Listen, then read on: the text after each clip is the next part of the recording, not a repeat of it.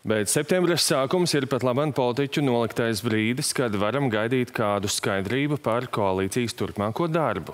Bet vai tā būs paplašināta vai cita koalīcija, skaidrības aizvien nav.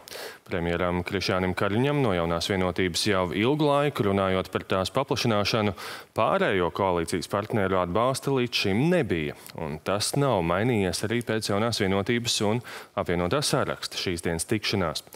Kopīgā ir vairāk nekā atšķirīgā, nav grūtību sastrādāties, šobrīd nav milzu domstarpību, to visu politiķi teica pēc šīs dienas sarunām. Bet jautājumā par koalīcijas paplašināšanu katrs šķiet joprojām palicis pie sava viedokļa. Mums šobrīd ir koalīcija, kura uh, ir strādāt spējīga 54 balsīm.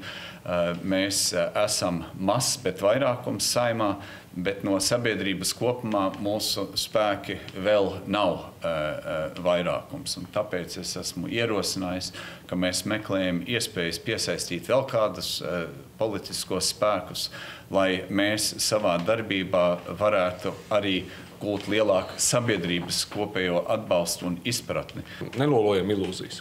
Apvienotais saraksts no 1. 1. oktobra naktas mēs gan šajā vērtību vektorā, gan dažādu uzdevumu vektorā mēs redzam to, ka šī trīs frakciju koalīcija idejiski, valstiski un arī personību līmenī, gan partiju vadību līmenī, gan arī deputātu līmenī, kuri, kurus iespējams nevar raustīt kāds no malas, kāds no ezera makšķerējot asarus un dodot dažiem norādījumus, kas tālāk pārstāv visu šo jautājumu nodod. Mēs redzam, ka um, šo trīs frakciju koalīcija ir optimāla lieluma un apvienotajiem sarakstam. Man, kā es arī šodien arī um, ministrs prezidentu informēju, man nav mandāta no frakcijas, un kolēģi arī vairākums bija klāt šodien apliecina to, ka nav mandāta runāt to, par kādu iespējamu paplašināšanu. Abi politiskie spēki gan piekrita, ka augustā gaidāmajās sarunās darba būs daudz.